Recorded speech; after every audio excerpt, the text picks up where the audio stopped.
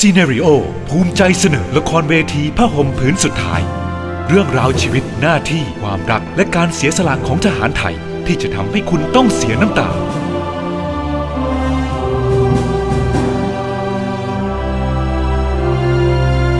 เปิดแสดง 17 มีนาคมถึง 3 เมษายน ณ เมืองไทยรัชดาลัยเธียเตอร์ บัตรมีจำหน่ายที่ Thaiticketmajor สนับสนุนโดย บริษัทบางจากปิโตรเลียมจำกัดมหาชน บริษัทเมืองไทยประกันชีวิตจำกัดมหาชน